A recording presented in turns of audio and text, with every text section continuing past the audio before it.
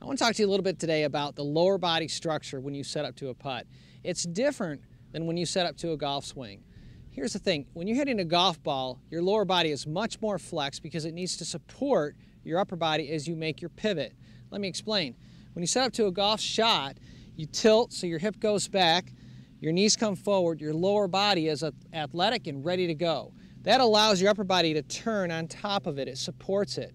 Now here's the thing, in the full swing, when your hips go back, your shoulders go back. It doesn't matter in the full swing because you're rotating in both directions.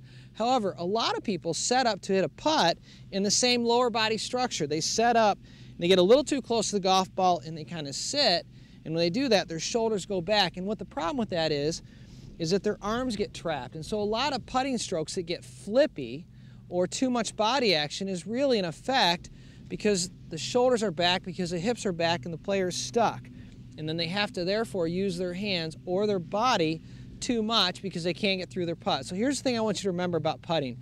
When you set up to a putt, set up with your upper body tilted forward with less knee flex than normal and have your hips higher. Your weight should feel like it's on your quads and more toward the balls of your feet. What that does physically, it moves your shoulders forward and puts you in a position where you can allow the putter to swing underneath your body, keeping your hands quiet, your wrist quiet, and your body center stable.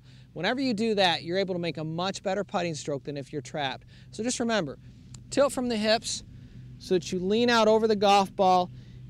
Your arms come to rest under your shoulders. Your shoulders are forward so that you're balanced and you can let the putter swing and stay still and you'll be a much better putter for it. Thanks for your time today.